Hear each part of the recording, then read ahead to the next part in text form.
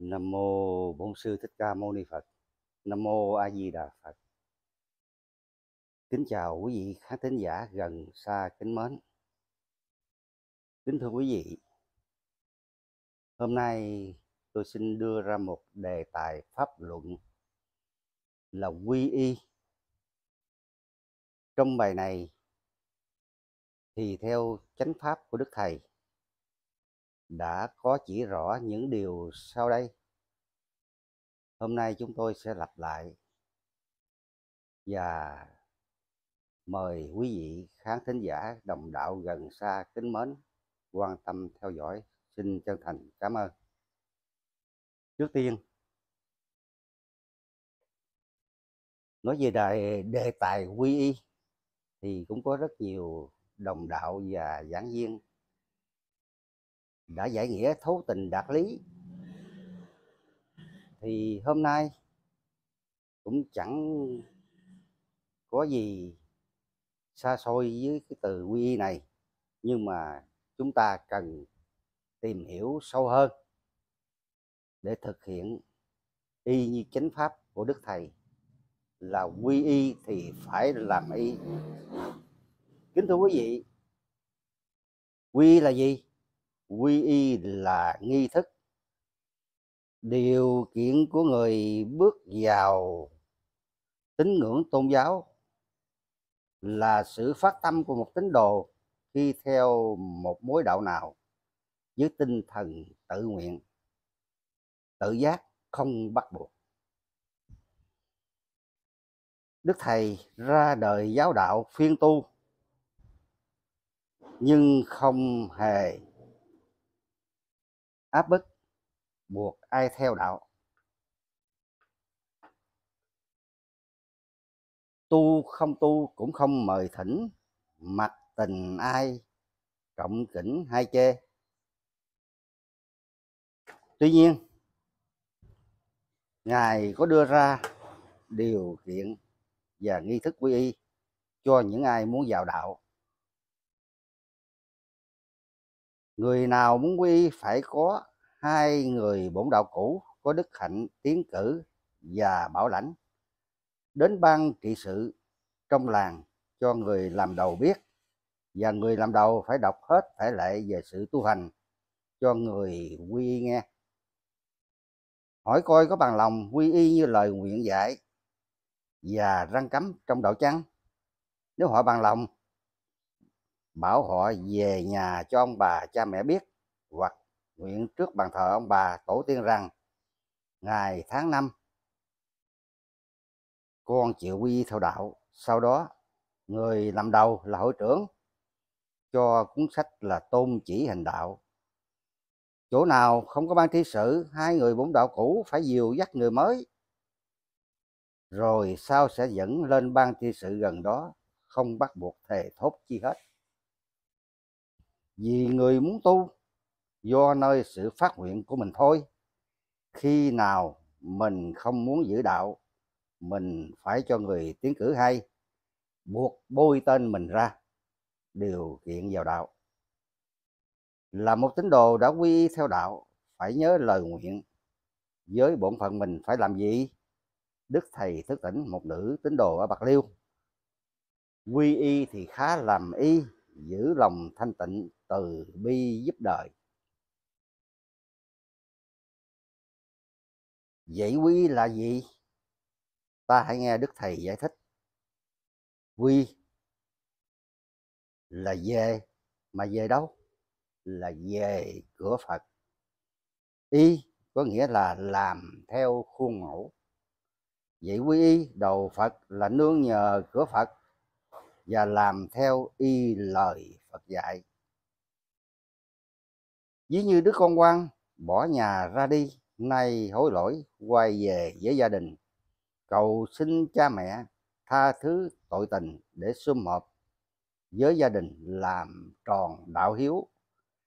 Và hứa với cha mẹ từ đây về sau, sẽ dâng lời cha mẹ, dạy không dám cãi.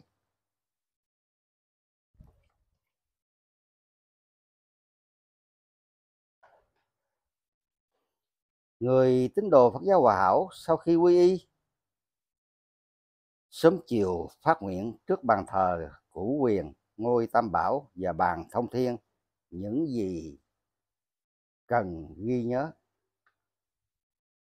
Ngôi của quyền thất tổ ta nguyện cúi kính dân hương trước của quyền, cầu trên thất tổ chứng lòng thiền nay con tỉnh ngộ quy phật, chỉ dốc tu hiền, tạo phước duyên dân hương, cầu của quyền thất tổ, chứng tri, từ nay mình đã tỉnh ngộ quy y phật, chí dốc tu hiền. Trước ngôi tam bảo, ta nguyện với phật thích ca, giáo chủ cõi ta bà, phật tổ, phật thầy, quan thượng đẳng đại thần, chư quan cụ thần, chư vị sơ thần, chư vị năm non bảy núi cảm ứng chứng minh. Nay con nguyện cải hối ăn năn làm lành lánh dữ, quy y theo mấy ngày tu hiền theo phật đạo. Bàn thông thiên, nguyện với phật thích ca, phật a di đà và chư phật mười phương qua năm câu nguyện. Nhất nguyện cầu. Đưa gì mấy kiến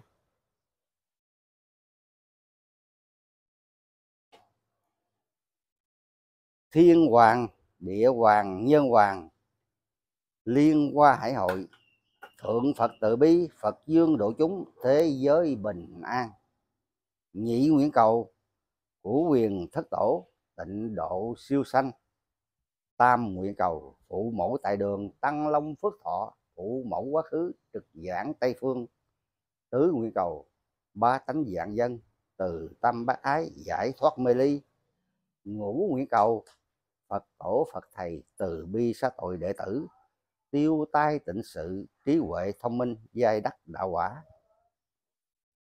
Những lời nguyện trên thể hiện sự tỉnh ngộ, quy đầu Phật pháp, ăn năn sám hối, lo tu hiền. Nếu hằng ghi nhớ và hành y sẽ được chư Phật hộ trì, lo gì không đắc đạo. Nhưng có khi trong lúc ấy chỉ nguyện cho lấy có, không hiểu nghĩa và chẳng làm y quy y thì khá làm y. Quy y đạo phật là nương nhờ của phật và làm y theo lời phật dạy. Phật từ thiện cách nào, ta phải từ thiện theo cách nấy. Phật tu cách nào đắc đạo rồi dạy ta ta cũng làm theo cách nấy. Thầy cảnh tỉnh, giác ngộ điều gì chánh đáng thì khá dân lời. Cần nhất là ở chỗ giữ giới luật hàng ngày còn sự lễ bái là điều phụ thuộc. Là món trợ đạo để nhắc nhở các trò nhớ phận sự mà làm thầy xét trong tam nghiệp. Các trò còn mang nặng lắm. Trong đường tu nương theo tam nghiệp thì khổ não lắm. Chúng sanh tịnh được tam nghiệp mới mong về cõi phật, lời khuyên bổn đạo khi đã phát nguyện quy y, ta phải làm y theo lời phật dạy. Ta nguyện những gì cần nhớ để thực hành, chứ không phải quy y rồi để y, chẳng làm gì cả. Giữ lòng thanh tịnh từ bi giúp đời. Lúc chưa hiểu đạo, chưa tu, tâm ta vọng động. Tưởng nghĩ sẵn xiên không phút giây yên tịnh còn cũng tưởng, mất cũng tưởng. Có cũng tưởng, không cũng tưởng, thành cũng tưởng, bại cũng tưởng. Thương cũng tưởng, ghét cũng tưởng. Thất tình, lục dục, bắt buộc con người phải phí biết bao nhiêu tâm cơ, bao nhiêu trí não phụng sự nó. Danh lợi cảm tình, quy quyền, phú quý được hàng ngày ghi nhớ. Khiến tâm ta không phút giây yên lặng khi quy y phật tu hành, cần chú trọng nội tâm. Tâm sanh, các pháp đều sanh, tâm diệt, các pháp đều diệt. Bởi 12 dương sanh, nói dắt ta từ kiếp này đến kiếp khác, gây tạo ác nghiệp, chịu nẻo luân hồi thống khổ. Nếu ta tìm con đường bách chánh đạo của Phật mà đi, giữ tâm thanh tịnh, làm việc nhân từ, không lòng hờn giận chẳng dạ ghét ganh, chuyên tâm niệm Phật giúp thế độ đời. Đừng chứa điều phiền não và để bụng tham lam ích kỷ, gây mối thiện duyên, lần lần trí huệ mở mang. Cõi lòng sáng suốt thì màn vô minh sẽ bị diệt mất, vô minh bị diệt thì trí huệ phát khai. Rồi trì hành pháp môn niệm phật theo phương pháp đức thầy dạy.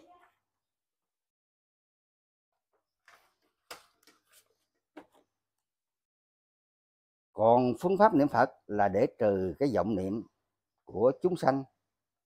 Vì trong tâm của chúng sanh, niệm niệm mê lầm chẳng dứt.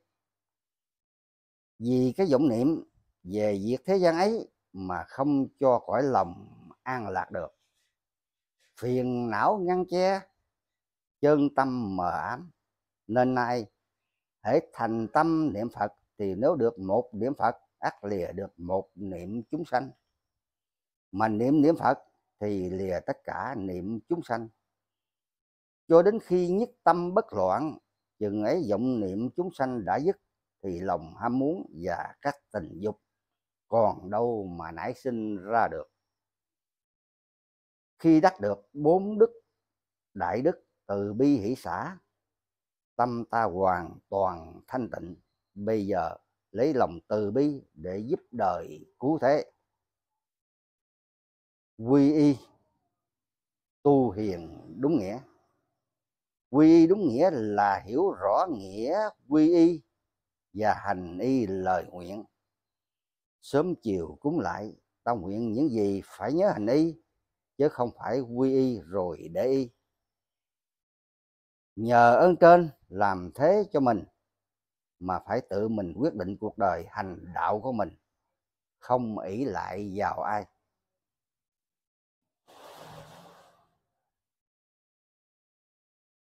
Một, đừng nghĩ lại. Vào kẻ mạnh. Hai, đừng nghĩ lại. Vào sự cứu giấc của thần thánh. Ba, đừng nghĩ lại sự binh vực của thầy mình. Luôn luôn lúc nào cũng phải nhớ câu nhân quả của phật dạy. Nếu nhân toàn thiện thì quả cũng sẽ do đó được toàn thiện vậy. Kẻ nào hành động ngông cuồng, không suy xét cẩn thận để đến đổi thất bại đem đến sự khó khăn khổ não, rồi trách cứ kẻ mạnh sao không cứu mình, thầy sao không giúp mình, trời phật sao không độ mình. Thì sự lầm lạc ấy rất đáng thương hại. Sự tu hành là cốt ở chỗ trao tâm trịa tánh. Gần lành, xa ác, giữ giới niệm phật làm y theo lời phật. Thầy chỉ dạy giúp thế độ đời làm lợi ích cho chúng sinh, chứ chẳng phải chỉ thờ phượng, lễ bái suông mà được. Vì đức phật chẳng bao giờ nói rằng các ngươi hãy lại thờ ta cho nhiều, rồi ta sẽ độ giúp các ngươi mà trái lại ngài dạy rằng, các nên, các ngươi nên hiểu biết phận sự con người phải làm gì trong kiếp sống và tìm kiếm chân tánh của mình. Thiệt hành theo giáo lý của ngài thì ngài sẽ hướng dẫn và ủng hộ vậy trong việc tu thân sự kỷ mà đức thầy đã viết. Với người thế, nói dối còn phải tội, huống chi đối với trời phật, thánh thần, ta dối gạt nguyện giái mà không làm thì tội lỗi đến bậc nào cuộc sám hối vô chùa thường thấy làm gian lừa biết mấy nhiêu lần. Thấy dương gian lường gạt thánh thần mà chua xót cho đời quân hạ. Chữ tự hối nào ai có lạ là ăn năn cải sửa tâm lành.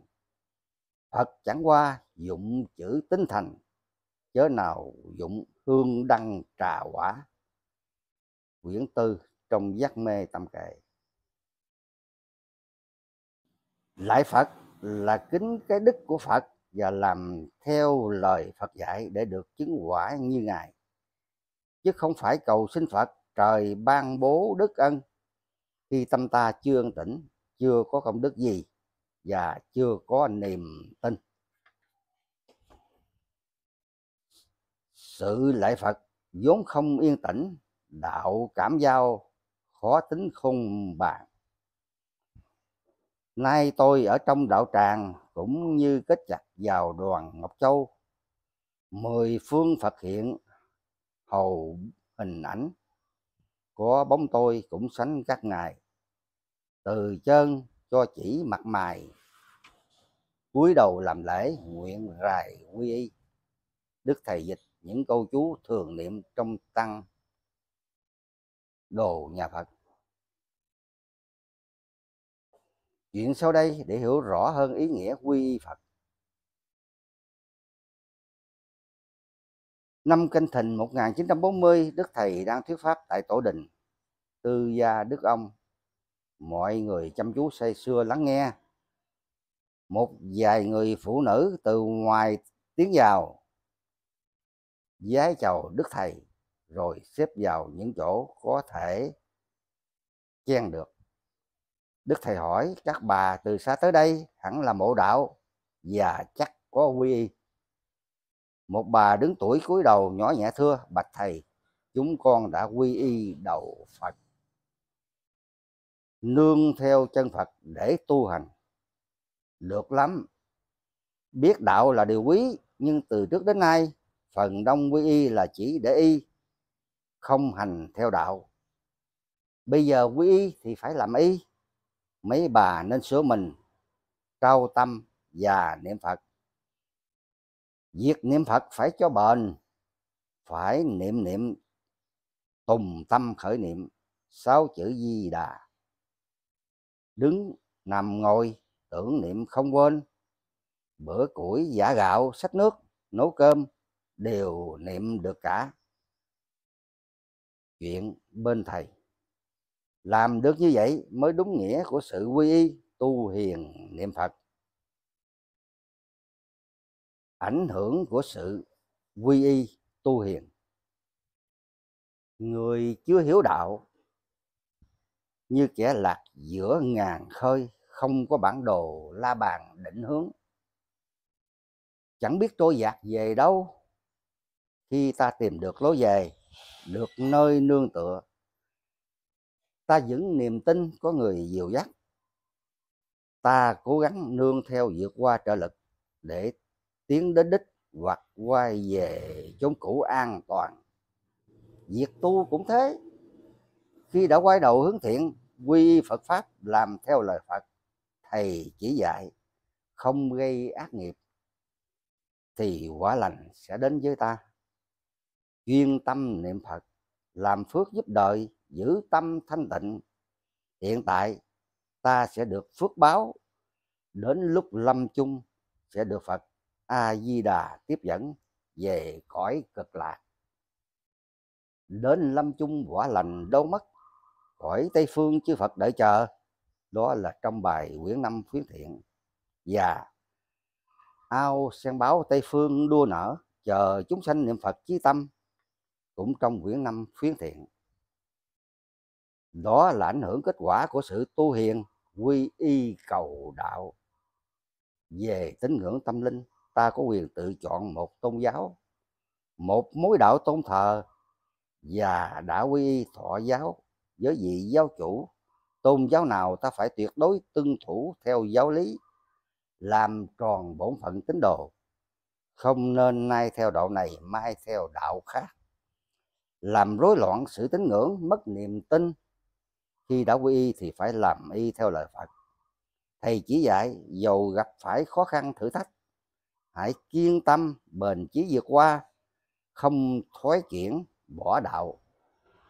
Sống sanh ra phận râu mài, một đời một đạo đến ngày chung thân, đó nằm trong bài tự tháng mà đức thầy đã dạy. Được vậy, sự quy y tu hiền của ta sẽ thành tựu viên mãn thăng tiến trên con đường đạo đức.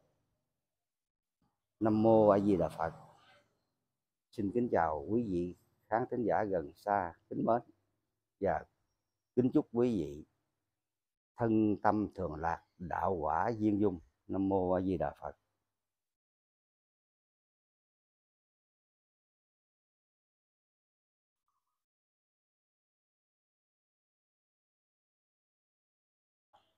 Các công của của người à, tanh sâu. Ta giữ gìn chớ có à, nhiễm vào. Tâm bần tăng à, chẳng mến sắc màu. Mến những kẻ biết vào đường tranh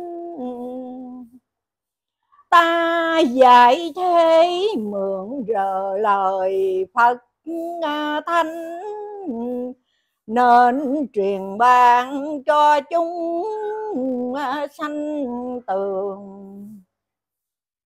Tuy ngày nay chúng nó à, hùng cường chừng phân định thì ta cao quý. Khuyên bổn đạo lập thân nuôi chi. Đặng chờ ngài yên kiến phật trời qua yêu dân càng tỏ nhiều lời. Cho trần hạ tìm trong ờ, lanh đục. Chẳng chịu tu mãi còn ờ, lục thục. Lo giàu nghèo, lo chẳng ờ, có rành ham công danh quên chữ sanh thành. Mến phú quý quên câu dưỡng dục. Ráng kiếm chỗ tầm tiên lãnh tục. Người ở đời phải được lòng lòng trong biển hồng trần sớm rồi ờ, cho xong. Ngày lập hội mới mong trở lại.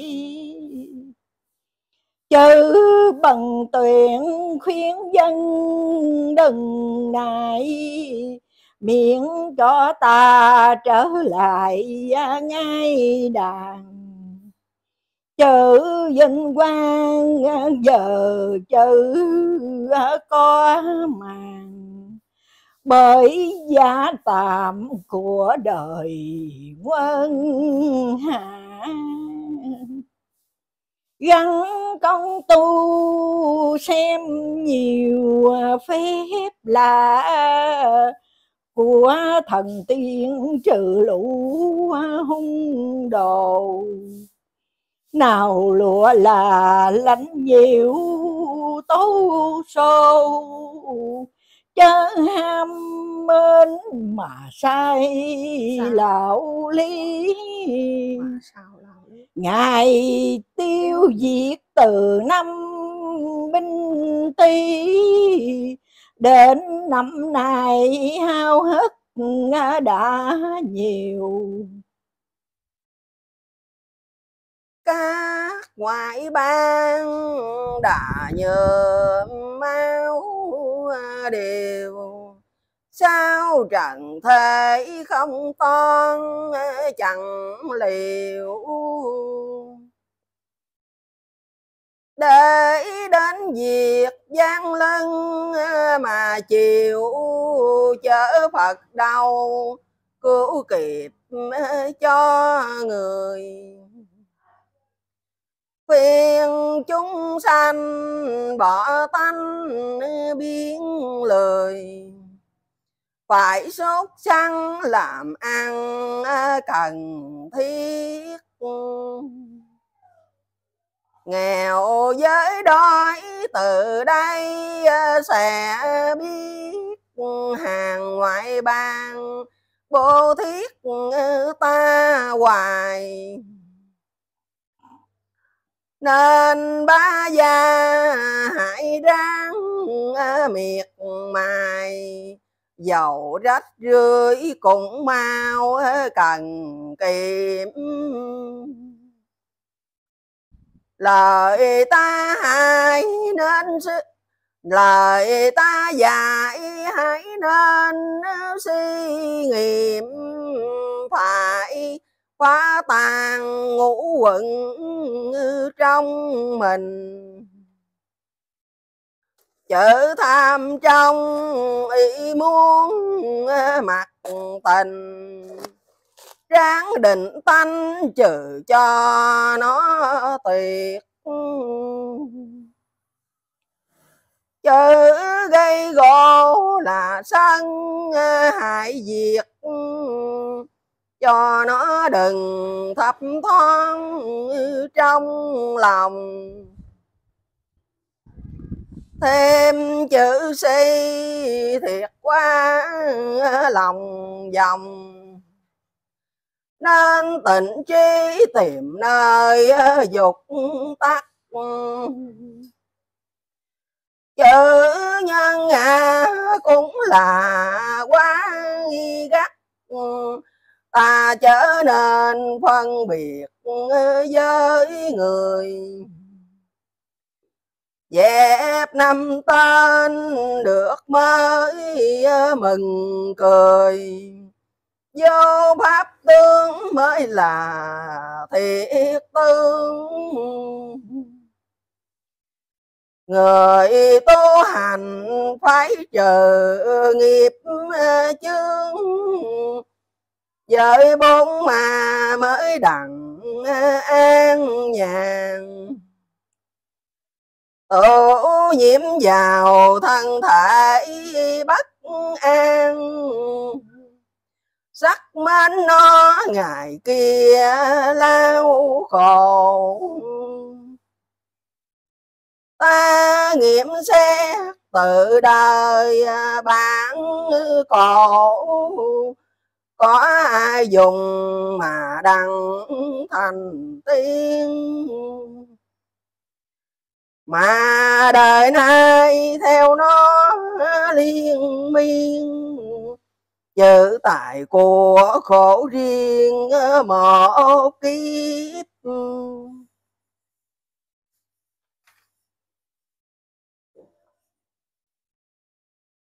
Bị tội cướp nào ai có tiếp? Mà đời nay nó cứ mãi làm. Chữ chữ khi hồn khuyên chớ có ham. Mà lao ly tầm thân trần thế. Kẻ nhất giả thường sanh ba kế để gạt lường làm thế cho mình. Ngày sau này lắm nỗi tội tình sao sanh chung chẳng lo cải sửa? Bệnh ôn dịch thường hay oi mưa mà dương trần chẳng chịu kiên dè. Qua năm về đến lúc mùa hè trong ba tánh biết ai hiểu chi? Ta chịu lệnh tây phương thọ ký.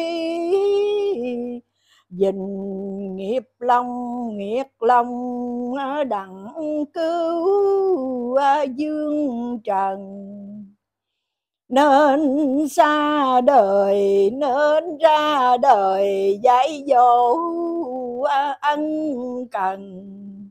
Khuyên ba tánh dạng dân liệu lấy.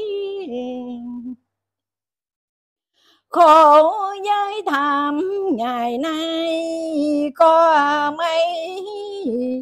Sợ mai sao dòm thấy bay hồn. Trừ tà gian còn thiên chỉ tồn. Cảnh sông núi sương tan tha thiết. Trần giới thế bây giờ nào biết chừng nhìn xem hư thiện à, mới tường. Ta bây giờ tu niệm à, tầm thường. Sao danh thế xạ hương khắp chốn?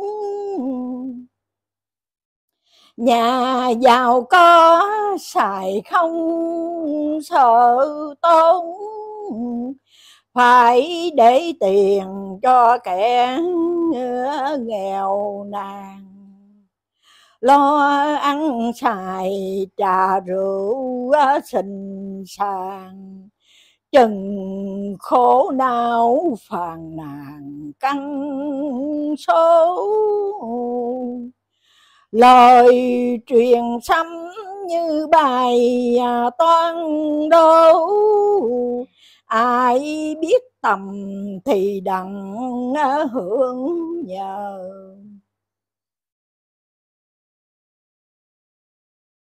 Ta phiên tu dân cơ mãi ngờ.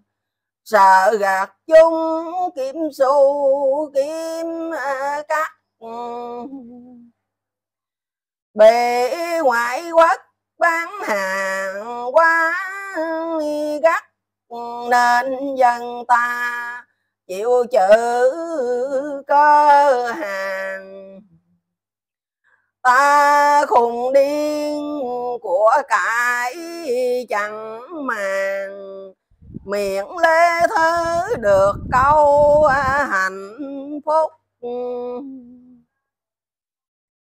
cả thế giới ngày nay ờ, gần thúc ừ, nên phật tiên phải xuống ờ, hồng trần. Chừng lao sao ác thu ờ, non tầng thì nam quốc trung lương thì nam quốc lượng dần à, mới biết. Nay dạy thế cậy cùng ngồi giết với sát trần vũ thiết à, ít hàng. Ai nói chi ta cũng chẳng màng sao biết đặng dân đừng à, có tiếc. Con phụ vô hấn hờ, nào à, biết thấy bóng đèn thị quyết à, chung vô tạm thường thai chết heo chết khô. Nhìn đèn nó thấy mồ ờ, phù vô. Cải phiên trần đã mang mùa thu. Đeo danh lợi như con ờ, vật ai dòng xe cát, biển đông ờ, thường thay. Tên giá tràng rất ổn công trình. Khi nước rồng nhỡ lúc ờ, bình minh, lúc nước lớn các kia tan ờ, rã trần phú quý thì trần thông à, thà chớ còn ta. Cứ khổ à, lao hoài. Viết kệ cơ, giảng dạy ít bài. Mặt lê thơ làm không à, tự ý coi đời phải nhận cho hiểu lý. Câu quyền sau của kẻ khùng này. Bởi chữ khùng của Phật của thầy chớ chẳng phải của người lãng trí. Mê giới tình nhận ra là lý. Thấy dương trần ngủ mãi ngủ hoài thức dậy mà tầm đạo kiếm bài. Để thi cử khỏi mang tiếng rất sách khuyên thiện miệng khuyên Miệng miệng khuyên kêu. Không không, ngớt mà nào ai có thức ở dậy tầm ta nghĩ si cùng bất hổ thầm. Nên than thở cùng trần ít tiếng tâm sáng suốt như đài à, nguyệt à, kiên. Tánh trong như nước bích mùa xuân. Nếu không tu chừng khổ cùng ân, đừng có trách sao không chỉ bảo. Từ nhỏ tôi đến người trưởng lão, mắt trong dòng sanh tử lưng hồi. Xuống diêm đình thấy tội hỡi ơi, đó mới biết có nơi địa ngục. Kỳ xa tội nay còn à, một à, lúc sao chẳng tu đặng có hưởng nhờ? Gặp giảng kinh à, trần cư à, làm ngơ. Trồng bông kiện giống chi hưởng nấy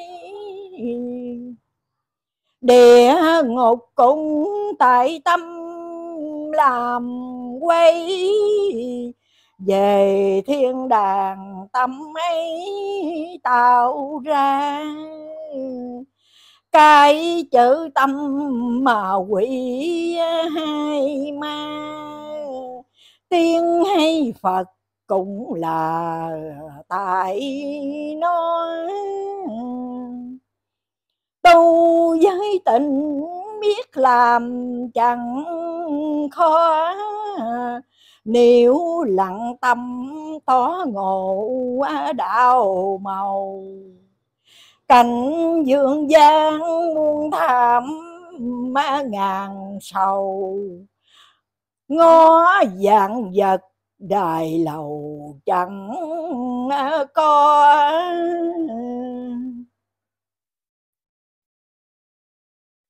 Sông với núi trước kia, mắt ngon khi chết rồi, thấy nó đằng nào. Ai biết đường hãy sớm tàu đào, kiếm đạo lý mà nhờ mà nhoi. Chịu cay đắng tu hành mới à, giỏi ta thương đời len lỏi xuống trần. Đạo vô vi của Phật ân cần. Nói theo chi thích ca ngày trước. Câu vũ quý ngày không mạng ước chữ bồ đề, như cầu y bán tòng. Ráng dưỡng nuôi chữ đó trong lòng, thì là được định chừng à, diệu hòa lời thiết pháp chẳng gì nhân, ngã người nào đâu. Có phật, tánh là xem kệ này như ngọc, như ngà. Phải nảy nở như cơn mưa thần áp mùa tiết giống kia, bất luận thấy một mầm, trổ lá mới màu. Trong chúng sanh nghĩ tận đuôi đầu, về cực lạc mới là hết khổ đạo giới lý từ đây ờ, nhiều chỗ phải lọc lừa. Cho kỹ ờ, mà nhờ chọn nơi nào đạo chánh ờ, phương thờ thì mới được thân sao cao quý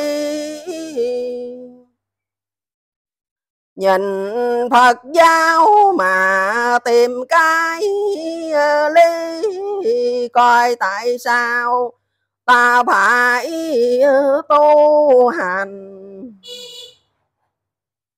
Vì yêu ta, vì yêu dân, ta kể ngon ngành, khuyên lê thứ làm lành mà tranh. Canh nét bàn là nơi ờ, cô canh. Về chốn đi, xa lanh hồng trần. Chặt chữ.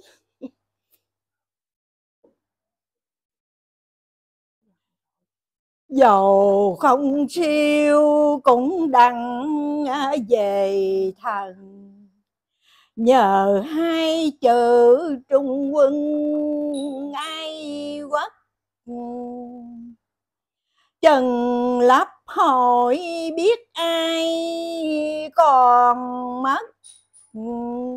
Giờ chưa, phần chưa biết chanh ta ta vì dân sắc lên ngọc tòa. Đền đền linh cứu đền linh cứu sơn trung chịu mạng. Đền nền đạo đức ta bày quá cạn. Mà dương gian còn gạt danh từ. Làm cho ta lỡ khóc lỡ cười. Khóc là khóc thương người ngu muội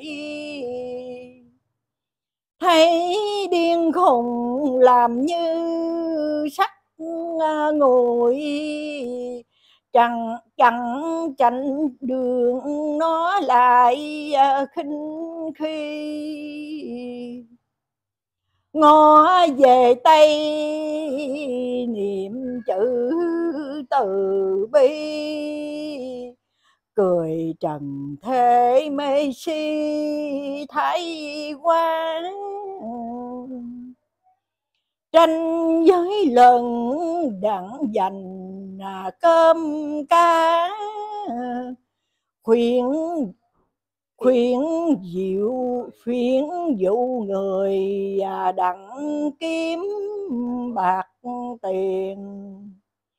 Thay chúng sanh ghét gọt bọt ngõ ganh hiền. Theo thế nhạo, theo chế nhạo những người tu tình. Tu không tu cũng không mời thành đặng tìm, đặng tình ai trọng kinh hay chê? Thương lệ dân còn mạng say mê. Chẳng tu tình cho rành xương à, năng thấy ta lại nói cay nói đắng. Đằng với cài ta cùng chẳng màng.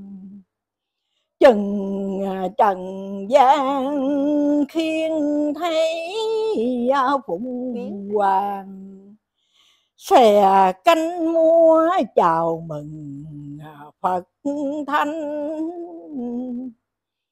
thấy đạo lý chớ nào thấy tánh. Còn ẩn nơi tiềm ốc à, sát phàm.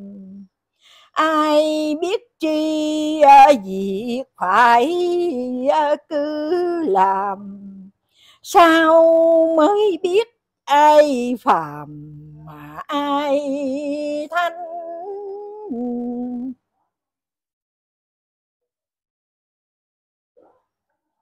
đức lục tổ ít ai à, giam sanh. Người dốt mà nói pháp ừ, quá rành.